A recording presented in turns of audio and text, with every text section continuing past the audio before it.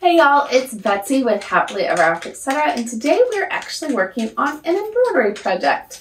So I have been working on Christmas presents for my friends and family. You might have caught the video I did a couple weeks ago where I embroidered a picture frame inside an embroidery hoop for my dad. I really wanted to give him a photo of our trip to Alaska. We took a cruise to Alaska. I will link that entire playlist down below because we did all kinds of fabulous things, including take a helicopter ride to a glacier to go dog sledding. And I wanted to gift him one of the photos from that excursion. And so I embroidered an entire mountain uh, forest scene in a picture frame kind of style for that photo for his Christmas gift. And I thought that was a great present idea, especially for the men in your life who might be a little sentimental and like photos, but are a little harder to shop for. If dad wants something, he just goes and buys it. He does not leave present ideas. Like most dads, or maybe my dad's special, I don't know. He loves all handmade gifts. So I usually hand make his presents because he is very sentimental in that way. But since this was a gift specifically for him, I could not say it was for him and my stepmom. So instead, I decided, well, I'll embroider her a separate one. Her daughter, my step uh, sister, got married last year. And so I wanted to embroider a picture frame for her for one of the photos for my stepsister's wedding using the um, wedding colors for the flowers and then put one of those pictures in the frame. So this is going to be a Christmas gift it could also easily be a wedding gift or an anniversary gift, whichever you're looking for. But I thought it was a really sweet way to um, showcase a wedding photo. You can really, you know, skew the colors, like I said, towards the wedding colors and showcase that picture. And it's a handmade gift. So nine times out of 10, the bride is really going to love that you took the time to make that. I may have to make one for my stepsister eventually, but for now, I'm going to use the same color greens as the greens I did for my dad's mountain theme for the leaves of the flowers and the wedding colors for the flowers themselves. And we are going to embroider a photo picture uh, frame for my stepmom. So let's go ahead and get started with most of my embroidery projects. I am going to pop into Cricut Design Space. I bought both of these uh, patterns on Etsy and I'm just going to use my Cricut to draw it on my fabric and then we will start embroidering.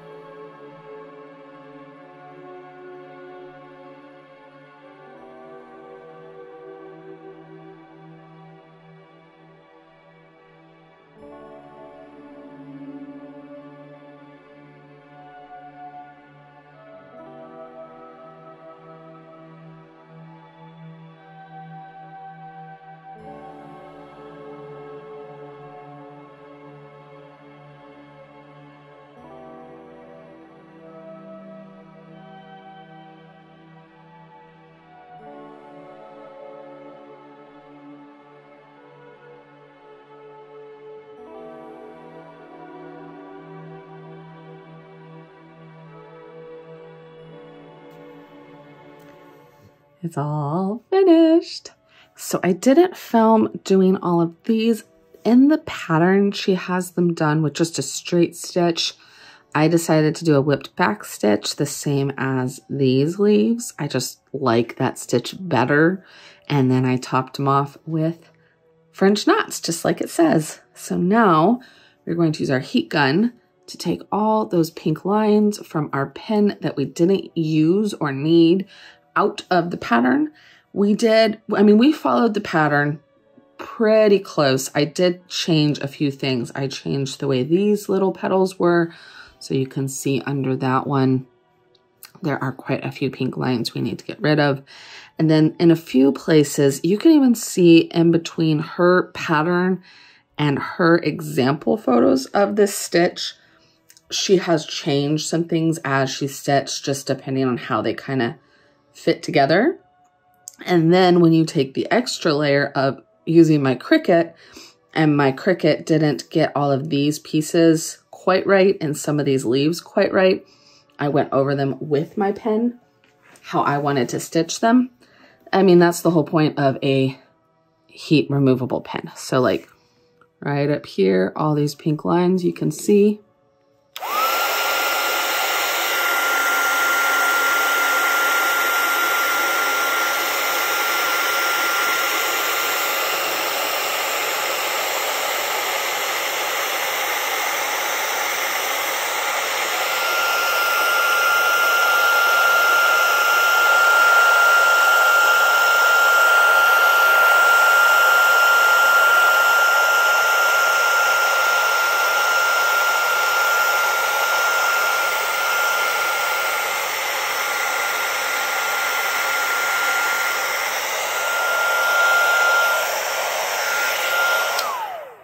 Ta-da!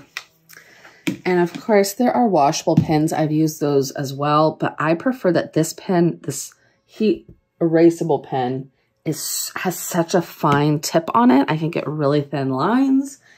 And I just like that I can literally erase lines with my heat gun and I don't have to wait to put it in the washing machine or wash it in the sink or, you know, especially when it's that much, I'll typically toss it in the wash.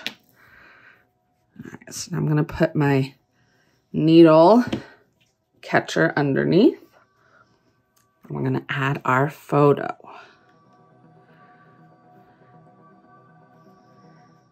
Get it perfectly situated. I think that's perfect. So now we can add our needle catcher and it will hold the photo in place while we are stitching the corners on. Let's start with this corner and we're just going to come up to the side, tack this corner in. Oops. And the magnet just helps hold it in place without it being too hard. I do try to make it as symmetrical as possible, but I don't really like coming up through my stitches. I know some people don't mind. I don't like it. So I try to avoid that.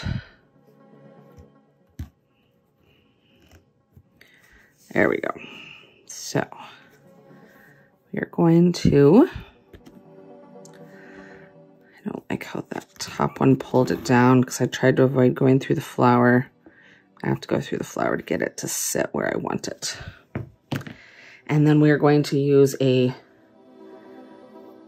brown thread for the bottom so that it just blends in a little.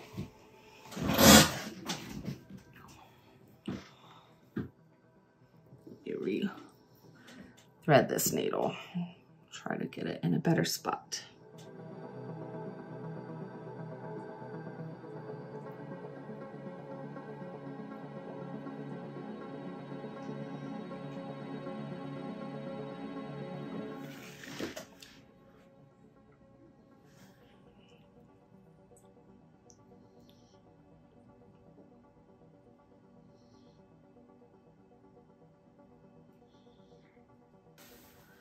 All right, so I put it just right through this little cluster.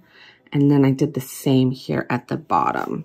So then we're going to come across and we're going to go from this opening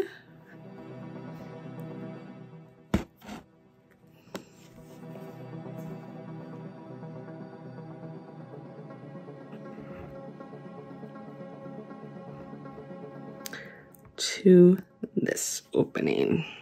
It's going to be a much bigger one than the other side, but that's okay. It will hold it in place and it will blend in as well as a photo corner can blend in. Tie it off in the back.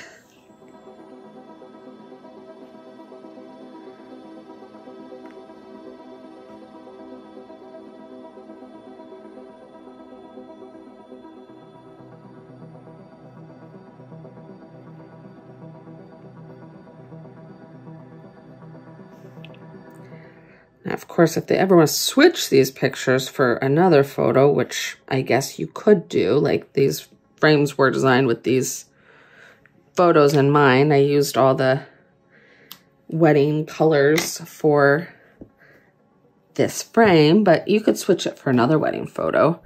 Um, then the top and bottom may not go, but it'd be easy enough to clip those couple threads out. You just have to take the backing off. Oh, it's so cute though. I love it with the picture. I'm going to uh, gather the back and put a felt backing on it. And if you didn't catch it, this is the one for my stepmom. The matching one for my dad is from our Alaska trip. So I think they look really cute together. We'll leave the link to this video below. But that is it. I'm going to go ahead and finish this off and mail it away. I hope they like them. Either way, I will see y'all in the next video. Bye.